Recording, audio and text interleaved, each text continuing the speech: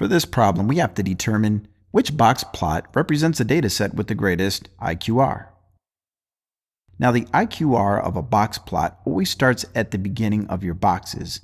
For box plot A, the boxes start at the number 10 on the number line and go all the way to the number 22. So what we have to do is figure out what is the distance from 10 to 22.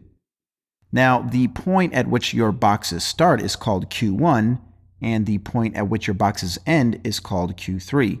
So if you subtract Q1 from Q3, that will give you the IQR. And the distance between 10 and 22, or 22 take away 10, is 12. For box plot B, Q1 starts at 6 and goes all the way to 20.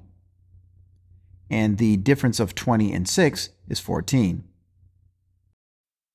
For box plot C, Q1 starts at 2 and goes all the way to 12. And from 2 to 12, that is a distance of 10. And if you notice, that is the smallest IQR we have so far. And if you just visually compare all four of these box plots, you can see that the box itself is the skinniest of the four box plots. Now let's take a look at box plot D. Q1 begins at 4 and goes all the way to 20. So Q1 is 4, Q3 is 20, and 20 take away 4 is 16. So out of the four box plots, box plot D has the greatest IQR at 16.